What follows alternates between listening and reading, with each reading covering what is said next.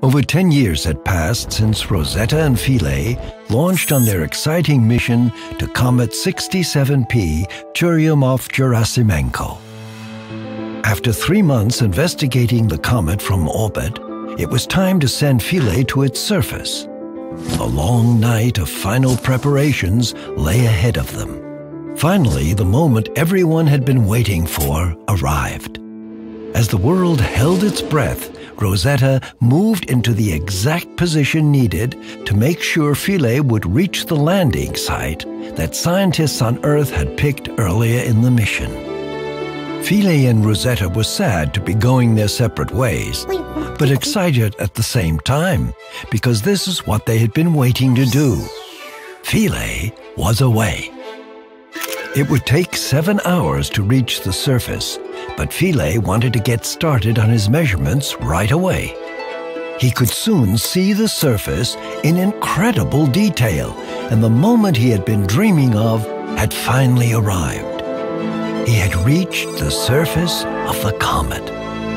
But all was not right. His harpoons did not fire. Philae realized he couldn't relax yet. He was rising from the surface again.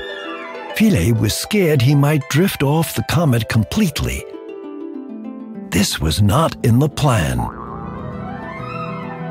But eventually, he came back down again. However, as he looked around, he realized he had landed in a completely unexpected location. Philae immediately set to work on studying his new home. It took him just over two days to conduct all the experiments he had brought with him. After all his hard work, Philae began to feel tired, so he made sure to send all the data he had collected back to Rosetta. As the sun set over Philae's new home, he fell into a deep sleep, safe in the knowledge that he did his main job well and that his family of comet chasing heroes would be proud of his achievement. Who knows? Perhaps one day enough sunlight would fall on his new landing site and wake him up so that he could carry on investigating this incredible world.